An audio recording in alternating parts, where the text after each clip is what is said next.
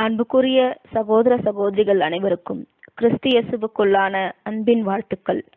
வேதாகம பாடங்கள் தொகுதி மூன்று உம்முடைய ராஜ்யம் வருவதாக. அத்தியாயம் ஆறு தலைப்பு அறுப்பு வேலை. பக்கம் இருநூற்று அறுபத்தி ஏழு முதல் இருநூற்று எழுபத்தி இரண்டு வரை. இஸ்ரேலின் எழுபதாவது வாரம் சுவிசேஷ யுக அனுகிரகம் முற்று பெறுவதை காட்டுகிறதாக இருக்கிறது. எனும் தலைப்பின் கீழ் காணலாம். இஸ்ரேலின் எழுபதாவது வாரம் அனுகிரக காலத்தின் கடைசி ஏழு வருடங்கள். அதன் ஆரம்பம் மத்திய காலம் முடிவு என்பது மிக சரியாக குறிப்பிடப்பட்டிருந்தது நினைவு இருக்கலாம். அது ஆவிக்குரிய இஸ்ரேலின் அனுக்கிரகத்திற்கென சுவிசேஷ யுகத்தின் இறுதியில் மிக தெளிவாக கொடுக்கப்பட்டதின் காரணத்தை நாங்கள் நம்புகிறோம். அந்த வாரத்தின் ஆரம்பம் கிபி இருபத்தி ஒன்பது. மாம்சீக இஸ்ரேல் பரீட்சிக்கப்படுவதற்கு அறுப்பின் ஆரம்பமாக உள்ளது என்பதை நாம் பார்த்திருக்கிறோம். அது நம்முடைய ஆண்டவர் யோர்தானில் ஞானஸ்தானம் பெற்றுக்கொண்டு மேசியாவாக அங்கீகரிக்கப்பட்டதின் மூலம் குறிப்பிடப்பட்டது. அப்பொழுது அவருடைய ஆரம்பமான காலமாகும். அதற்கு இணையாக இருப்பது கிபி ஆயிரத்தி எட்நூத்தி எழுபத்தி நான்கில் இந்த அறுவடை துவங்கின போது நமது ஆண்டவர் பிரசன்னமாகி இருப்பதை உணர்ந்து உணர்ந்து கொள்வது ஆகும். அந்த உடன்படிக்கையின் வாரத்தின் மத்தியில் கிபி முப்பத்தி மூன்றில் இஸ்ரேல் ஒரு ஒழுங்குமுறையாக அல்லது சபை தேசமாக நிராகரிக்கப்பட்டது. அது நம்முடைய ஆண்டவர் சிலுவையில் மறித்ததின் மூலம் அவர் மறிப்பதற்கு முன்னால் உங்கள் வீடு உங்களுக்கு பாழாக்கி விடப்படும் என்று சொன்ன வார்த்தைகளின் மூலமும் குறிப்பிடப்பட்டது.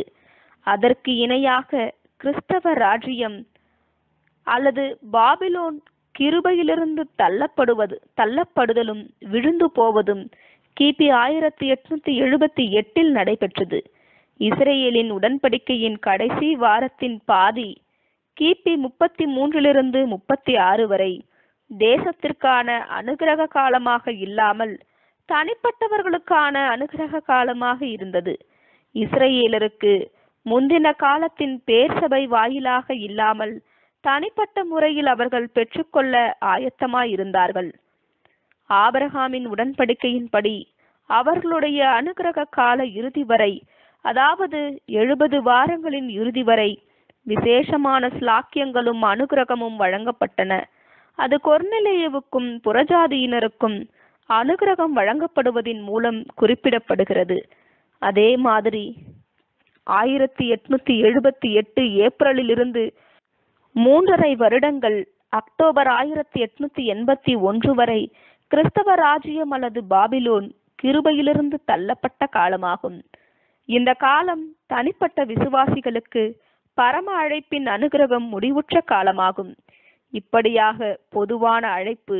இந்த சுவிசேஷ யுகத்தின் அனுகிரகம் கிபி ஆயிரத்தி எட்நூத்தி எண்பத்தி ஒன்று அக்டோபர் மாதத்தோடு நின்றுவிட்டது. இதற்கு நிழலாக அக்டோபர் கிபி முப்பத்தி ஆறில் யூத மக்களுக்கு வழங்கப்பட்ட அனுகிரகம் நின்றுவிட்டதை காணலாம். யூதர்களுக்கான கிருபை ராஜ்யம் இஸ்ரேலருக்கு கொடுக்கப்படும் என்பதில் அடங்கியுள்ளது. ஆபரகாமின் பிள்ளைகள் நியாயப்பிரமாண உடன்படிக்கையின்படி வழங்கப்பட்ட ஸ்லாக்கியங்களையும் வாய்ப்புகளையும் பயன்படுத்திக் கொள்ளும்படியான அழைப்பு அவர்களுக்கு கொடுக்கப்பட்டது. அவர்களுடைய உடன்படிக்கை வாரம் முடிந்தவுடன் இந்த அழைப்பு அனுகிரகம் அல்லது ஸ்லாக்கியம் முற்றுமாக நிரந்தரமாக முடிவுக்கு வந்தது. சுவிசேஷ யுக கிருபை கிறிஸ்துவின் விசுவாசிகளுக்கு ராஜ்யம் முற்றுமாக கொடுக்கப்படுவதில் அடங்கியுள்ளது. பரம அழைப்பு கிருபையின் உடன்படிக்கையின் மூலம் தேவனோடு ஒப்புரவாகிய அனைவருக்கும் உரியதாகும். இப்படியாக கொடுக்கப்பட்ட அனுகிரகங்கள் ஆபரகாமின் வித்தின் அங்கத்தினர்களாகி விடுவதால் இது உலகத்தாரை ஆசிர்வதிக்கும். கிறிஸ்து இயேசுவோடு அவருடைய மீட்பரோடு தன்னையே பலியாக செலுத்திய உடன்படிக்கையினால் வந்ததாகும். இந்த பரீட்சை வரவிருக்கிற கிறிஸ்துவின் வேலையிலும் மகிமையிலும் பங்கு பெற அவர்களுக்கு உள்ள தகுதியை வெளிப்படுத்துவதற்காகும். இந்த அனுகிரகம் அல்லது அழைப்புதான் அக்டோபர் ஆயிரத்தி எட்நூத்தி எண்பத்தி ஒன்றில் நிரந்தரமாக முற்றிலுமாக நின்றுவிட்டது என்று நாம் பார்த்திருக்கிறோம். யூதர்களுக்கான அழைப்பு அல்லது அனுக்கிரகம் முடிவுற்றதும் இதற்கு இணையான காலத்தின் போதுதான். யூதர்களுக்கான விசேஷித்த அழைப்பு அல்லது அனுக்கிரகம் நிறுத்தப்பட்ட போது அது இன்னொரு பொதுவான அழைப்பையும் பெற்றது என்பதையும் கவனிக்க வேண்டும். அதாவது அதன் பிறகு அவர்களில் எவராவது விசுவாசிகளாகி ராஜ்யத்தின் கணத்திற்கு என்று கொடுக்கப்பட்ட உலக அளவில் அழைப்புக்கு தகுதி உள்ளவர்களாயிருந்தால் அவர்களும் சேர்க்கப்பட்டார்கள். அவர்களுடைய கடந்த கால கிருபை நின்ற பின்னர் அவர்கள் எதற்குமே அழைக்கப்படவில்லை என்பது போல் இருக்கிறது. இதற்கு கீழான அனுகிரகத்திற்கு அவர்கள் அழைக்கப்பட்டது போன்று இருக்கிறது. ஆனால் அது அப்படியாக இல்லை. ஏனெனில் அவர்களை ஒதுக்கி வைக்காத அழைப்பு பொதுவான சுவிசேஷ அழைப்புதான். அது இப்பொழுது இன்னும் விஸ்தாரமாக்கப்பட்டு அதிக ஆழமுள்ளதாக்கப்பட்டு ஒவ்வொரு தேசத்திலும் உள்ள கிறிஸ்துவுக்குள்ளான விசுவாசிகளுக்கு உரியதாயிற்று. ஆயிரத்தி எட்நூத்தி எண்பத்தி ஒன்றில் அழைப்பு அல்லது அனுகிரகம் நிறுத்தப்பட்ட போது அதைத் தொடர்ந்து அதன் மேல் ஒரு பொதுவான அழைப்பு சுமத்தப்பட்டது என்று கூறலாம். அது முழு உலகத்தையும் ஆயிர வருட ஆசீர்வாதங்களுக்கும் அனுக்கிரகங்களுக்கும் அழைத்தது. அதற்கான நிபந்தனை விசுவாசமும் மனமுவந்த கீழ்ப்படிதலும் ஆகும். ஆனாலும் மரண பரியந்தமுமான பலி அல்ல. ஆனாலும் இது சற்று குறைவான அழைப்பு நின்று போன அழைப்பிற்கு சற்று குறைக்கப்பட்டதாகும். இது ராஜ்யத்தின் ஆசீர்வாதங்களை அனுபவிக்கும்படியாக மட்டுமே. ஆனால் அபிஷேகம் பெற்ற ராஜ்ய வகுப்பினரின் பங்காளர்களாக இருக்க முடியாது. இந்த மாற்றம் உயர்ந்த அனுகிரகம் நிறுத்தப்பட்டு குறைவான அனுகிரகம் ஆரம்பித்து தற்காலத்தில் அதிகமாக கவனிக்கப்பட மாட்டாது. இதற்கு காரணம் என்னவெனில் திவ்ய சுபாவத்தில் உடன் சுதந்திரர்களாக பங்குள்ளவர்களாக இருப்பது ராஜ்யத்தின் பெரிய வெகுமதி போன்றவைகள். பொதுவாக சபையில் இன்றைக்கு காணப்படுவது கிடையாது. வெகுமதி என்று கூறும்போது கடந்த பல நூற்றாண்டுகளாக கிறிஸ்தவர்கள் பொதுவாக நினைப்பது என்னவெனில் அவர்களுடைய உயிர்த்தெழுதலில் அவர்களுக்கு பரிபூரணமான சரீரங்கள் கொடுக்கப்படும். வியாதியிலிருந்து வேதனையிலிருந்து துக்கத்திலிருந்து விடுதலை பெறுவார்கள். தேவனுடைய அனுகிரகத்தை அனுபவிப்பார்கள். மேலும் நித்திய ஜீவனை அடைவார்கள் என்பதாகும். ஆனால் இவை சுவிசேஷ யுகத்தின் பரம அழைப்பின் கீழ் உள்ள உண்மையான ஸ்லாக்கியங்களுக்கு மிக மிக குறைவாக இருந்தாலும் பொதுவாக ஆயிர வருட யுகத்தின் போது உலகத்தாருக்கு கொடுக்கப்படும் ஸ்லாக்கியங்கள் ஆசிர்வாதங்களை பற்றி ஓரளவுக்கு உண்மையான கணிப்பாகும். அநேகர் தேவனுக்கு கீழ்ப்படிந்து அவரோடு ஒருமனப்பட்டிருப்பார்கள். ஆகவே இப்படியான அருமையான உயர்வான அம்சங்களை சுவிசேஷ யுகத்தின் அழைப்பில் தெளிவாக காணக்கூடியவர்கள் மாத்திரமே. இந்த அழைப்பை பிரகடனப்படுத்த முடியும் அல்லது விரிவாக சொல்ல முடியும். இவர்களுக்கு மாத்திரமே தேவனுடைய வார்த்தையிலிருந்து காட்டப்பட்டுள்ளது என்னவெனில் இந்த அழைப்புக்கு ஒதுக்கப்பட்ட அவகாசம் அக்டோபர் ஆயிரத்தி எட்நூத்தி எண்பத்தி ஒன்றில் முடிவடைந்தது என்பதாகும். மற்றவர்கள் அப்போஸ்தலர் குறிப்பிடுகிற கிறிஸ்துவுக்குள்ளான தேவனுடைய பரம அழைப்பை குறிப்பிட்டு ஆயிரம் வருடத்திற்குரிய சற்று தாழ்ந்த அழைப்பை குறித்து சொல்லுகிறார்கள். ஆகவே பொதுவான சுவிசேஷ அழைப்பு உண்மையான ஒன்று முடிந்துவிட்டது. அதை ஒருவராலும் நீட்டிக்க முடியாது. சிலருக்கு அதை செய்ய முடியாது. ஏனெனில் அதை அவர்கள் புரிந்து கொள்ளவில்லை.